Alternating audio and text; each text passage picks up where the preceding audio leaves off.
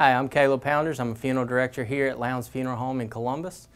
And today we just want to talk to you about pre-needs. Pre-needs are beneficial to a lot, uh, a lot of people in a lot of different ways. One of those ways is it is an emotional stress reliever. The family doesn't have to worry about the type of services that the uh, individual that had passed on would like to have, whether it be cremation or a full traditional funeral. It also helps with uh, the financial strain. You can go ahead and prepay and, and purchase all of the products and the services that you wish to have during your service, and then also get down all the details of the service that you would want and want us to be able to follow for your service. Come down soon to see us at Lowndes Funeral Home for more details.